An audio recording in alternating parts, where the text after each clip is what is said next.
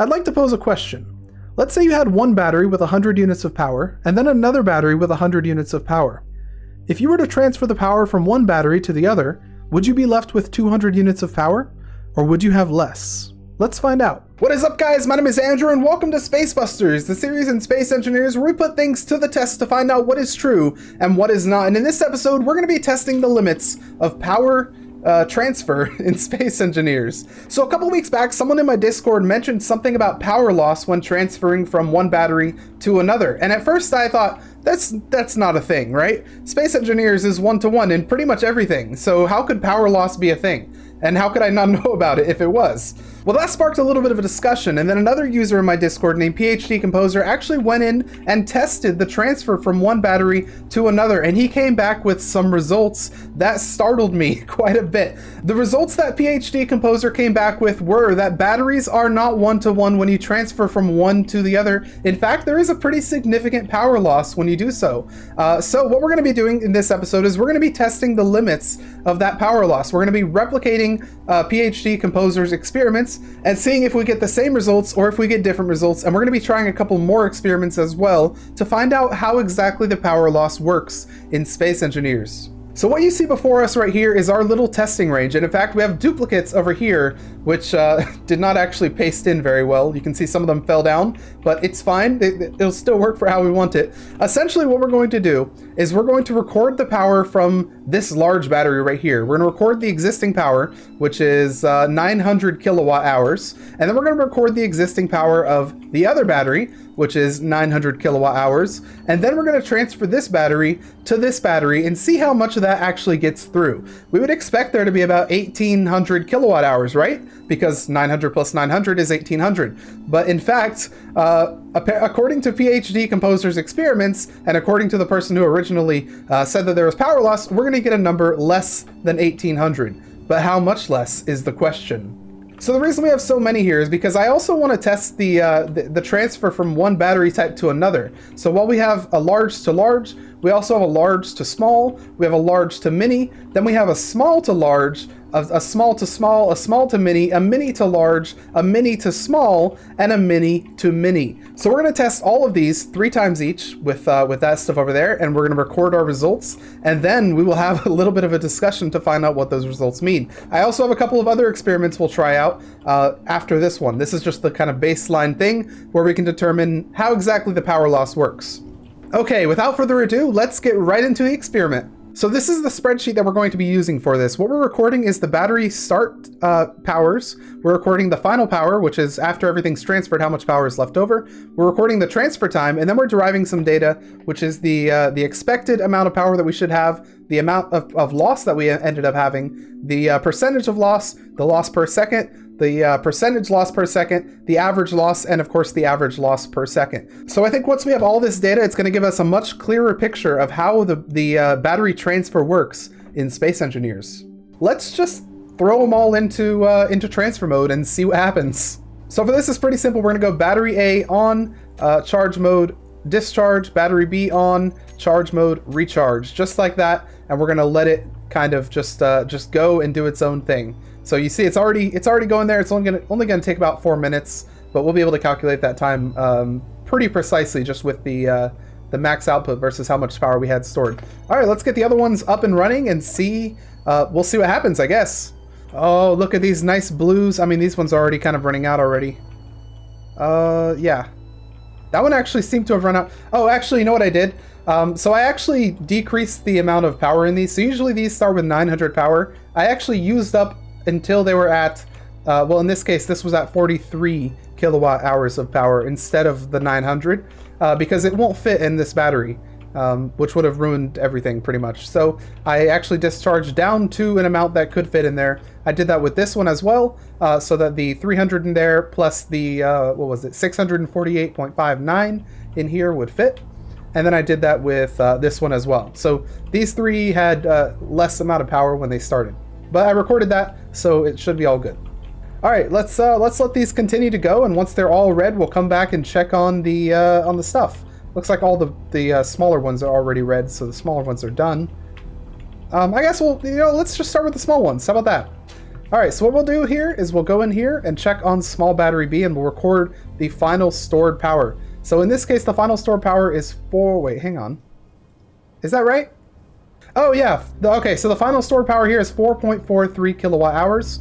Uh, now at the start, they both had 2.5 uh, kilowatt hours, so we would expect to see uh, 5 kilowatt hours total, but instead we only see 4.43. So there's definitely a transfer um, uh, loss uh, when you transfer from battery to battery. There's definitely a loss there. It's not one to one, so I guess that's already busted right there. Um, so that's good to know. That's actually something I didn't know um, for my entire time playing Space Engineers until very recently, and I've been playing it for a couple of years now. I didn't know that batteries transferred uh, not one to one. But I, I, guess that's good to know. So 4.43, we'll, we'll record that, and then we'll uh, move on to the next one. Wow, this is actually pretty crazy. So we expected to see 5 kilowatt hours here, and we only see 4.43. So that means the amount of loss that we experienced was 0.57 kilowatt hours. Uh, and that's 0.57 of the 2.5 that was transferred, which means we lost a whole 22%, or 22.8% if we're precise, of our power. That is pretty crazy. That's almost a fourth of our power. Um, let's keep going and see how the other percentages stack up. So in the mini to small, we expected to see 302.5 since we started with uh, 2.5 and 300 uh, kilowatt hours and we transferred 2.5 into the 300. So we expected to see 302.5. Uh, instead, we see 302. So that's actually not much power loss, but I mean, it's still 20% of the power that we transferred. Um, so yeah, what I really should have done, and I, I should have thought of this earlier, but I really should have had these batteries be completely empty and then transfer from there to the empty battery. But I didn't think of it. That would have uh, made things a little more clear. But uh, let's let's keep going. Okay, after checking the power of battery Bs for all of the different ones and all of the different test groups, we actually have a consensus. Uh, and it turns out I don't need to record the, uh, the, the, the transfer over time because it's not important. It turns out that the percentage loss is almost always 20% for everything. Uh, so battery one start, we lost about that much. That's 20% of what we transferred. Uh, for this one, 20.05 is about 20. Uh, for, for some of these, we had a couple of different results that were like a little bit more or a little bit less than 20, but it's mostly 20. Uh, here as well, um, the only one where it's like uh, decisively not 20 is when it's like these ones involving the mini batteries where it's 22.8, which is a little odd, but maybe that's a result of the smaller numbers uh, because they're only transferring so much power. But essentially, the average loss is always around 20%. So that's actually much easier than I thought. Now, when PhD from my Discord originally did his tests, he came back with these numbers here, uh, and I was interested because the loss percentage doesn't show any clear consensus, definitely not like mine does, uh, but I think I figured out what's happened here. So uh, and, and I actually made this mistake as well originally when I when I first did it. But what's happened here is that the uh, the loss here is loss from the transferred power, and he's recording the actual total power. So even though it's like 900 and 900 goes to 1, 1,800, um, this loss is only on the 900 that was transferred. It's not on the full 1,800. So if we take that into account, he's going to end up getting the the 20 for all of these.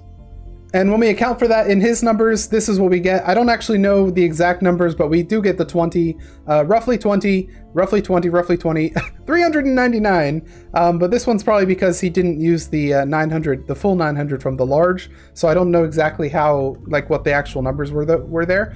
But that's essentially how it goes. So 20% is the percent to look out for uh, when you're transferring from battery to battery. So keep that in mind in the future, 20%. Now we're gonna do a couple more tests as well, just to test some kind of outlier cases. Like for instance, what if you're transferring from one battery to like five batteries? Or what if you're transferring over a connector? Or some situations like that. But if all you wanted to know was the, uh, the power loss when you're transferring battery to battery, it's 20%.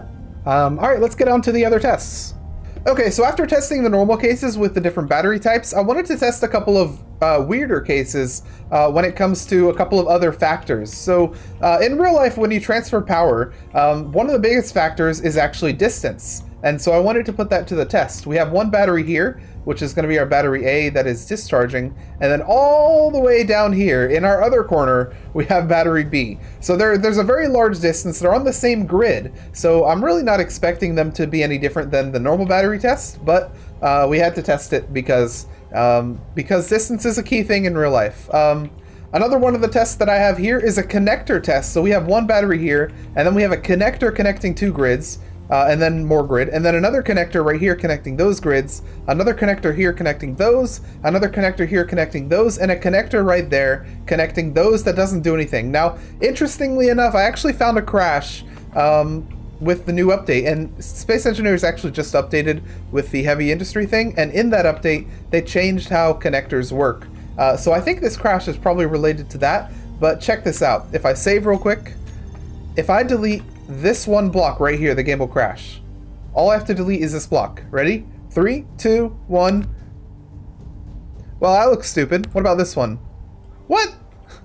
Okay, no, for real though. If I use this earlier save, uh, and I delete this block right here, the game crashes. But anyways, crashing aside, I think we're fine. Uh, we'll just keep it like this because I don't want to crash it again. But anyways, uh, so this is the long one, this is the connector one, and this over here is the subgrid one. Uh, what we have is obviously a normal battery, and then we have a subgrid battery, which is on 1, 2, 3, 4, 5, 6, 7, 8, 9, 10, 11, 12, 13 rotors. So it's majorly subgridded, and with this we'll be able to test if subgrids matter when it comes to the, uh, the transfer. Um, and then we have one more test that we'll do after this, but I will reserve that to, uh, well, to after this because I can't do it here. And that's going to be the heat test. Um, I'm pretty sure heat is also a factor when it comes to, uh, to the transfer efficiency in real life, so we'll see if heat's a factor in Space Engineers. Uh, since it is a mechanic, we're actually currently warm. You can see in the bottom right corner, uh, or actually the bottom center right, kind of. You can see that this planet is warm. But if we went to the center, it would be an inferno. And if we went to space, it would be freezing. So we can also test those. But anyways, let's put these to the test and see how they stack up against our normal results. So battery A and B, let's toggle on. We've already set them to their appropriate uh, discharge and recharge. Same for these, toggle on and toggle on. And same for this one right here, uh, toggle these both on. Now, uh, with this one right here, the rotors are turned off, so, um, so they're not costing any power. And with this one right here, I'm pretty sure uh, connectors yeah. Wait. Oh, it, it actually has a connected time. I, I actually never knew that. But uh, as of the latest update, connectors don't use any power. They connect without power, so uh, we can test this without them using up the power. Let's wait about four minutes, and uh, and hopefully this stuff will be recharged. Four minutes later. Yes, they're starting to be done. All right, let's check them out. Uh, one is done, two is done, and three is done. Let's go with the distance test first. So when it comes to the distance test, we have 1.62 megawatt hours, which is 1,620 uh, kilowatt hours. The exact same thing we saw in the other one. Um, so that's, I guess, good. Uh, I mean, that means distance doesn't matter. As long as it's on the same grid, it'll have the same, um, the same inefficiency, I guess. The 20% of your power will be lost. Moving on to the connector one. Let's see about this one. So we have, oh, wrong battery. We have 1.62, okay, so connectors don't matter. As long as they're connected together, it will also have that 20% inefficiency. And let's finally check the massively subgridded one, and that one is 1.62, so subgrids don't matter. It's just a straight 20% on your, uh, on your power.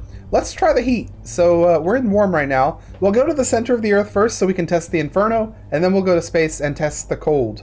All right, welcome to the center of the Earth. It is an inferno, as you can see in the bottom center right side. Um, it is the center of the Earth as well, as you can see with spectator cam.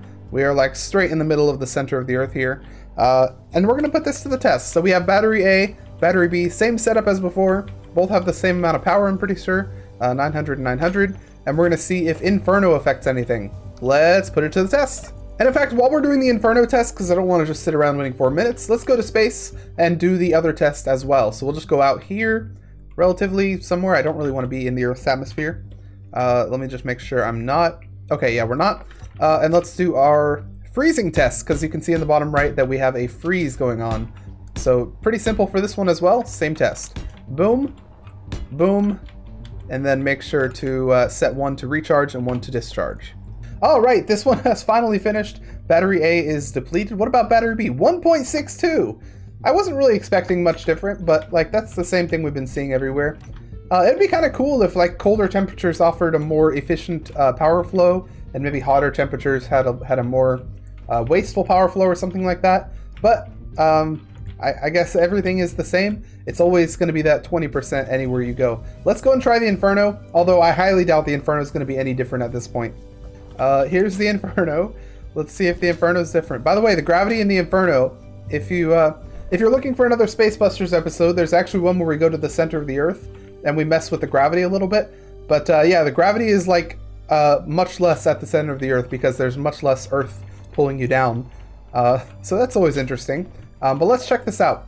Battery number B, or battery letter B, uh, 1.62 as well. So yeah, heat definitely does not affect anything. Um, it's always going to be that 1.62, and it's always going to be that 20%. Okay, real quick, I actually have two more tests that I want to do, and these are multiple tests. So we have uh, one large battery going into six small batteries, and we also have nine mini batteries going into one small battery. And this will allow us to test whether uh, multiple going into one or one going into multiple have the same um, loss percentage as just one to one. So let's put these to the test and see how they fare. All right, the small ones are done and let's check battery B. It gives us a stored power of 318 and what we expected was actually 322.5 with all those miniature batteries. Um, and that gives us a loss percentage of exactly 20%. So it doesn't matter if you're going from 9 to 1, it's still the same percentage uh, as 1 to 1. Let's, uh, we, I mean, this we still have to wait a little bit for this one, but it's almost there. Alright, this one's finally done. Let's check them out. B1, 420. B2, 420. B3, 420. B4, 420, 420, and 420. All of them have 420, and guess what? That gives us a loss percentage of exactly 20%. So it doesn't matter if you're going from many to one or one to many, you still have that same loss percentage. Let's real quick take a look at the uh, at, at, the results. So here we are with the results. Uh, we have our distance uh, large to large. We got a loss of 20%. Don't mind all these divide by zeros. Uh, these were things I, that, that I didn't measure like the transfer time. Um, but the connector one, we have a 20%. Subgrid, 20%. The warm, freezing, and infernos, all 20%. Large to 6 small, or 9 to mini, 9 mini to small, 20% and 20%. Let's check out the other tests as well. Uh, these are all the, the standard tests that we did at the start. You can see all of these are roughly 20% with a little bit of of, uh, of margin for error right there. So I think we can be sure that we're uh, we're correct when we say that pretty much any situation, battery to battery, is going to be a 20% loss on your uh, on your power. And that is where we're going to have to leave things with our troubling knowledge that now our batteries are not as efficient as they used to be. Well, I guess they were never that efficient in the uh, in the first place. This this was always there, just without me knowing. I was in blissful ignorance thinking my batteries were more powerful than they than they actually are. But anyways, if you guys like this episode or maybe learned something, please hit the like button, put your comments and your suggestions down below in the comments section. Consider subscribing. If you want to join the Discord, there's a link down in the description. If you'd like to uh, become a patron, perhaps, there's a link down in the description. Um, if you need anything else, it's probably in the description. Uh, if it's not, just leave a comment. But anyways, I'll see you guys in the next episode of Space Busters.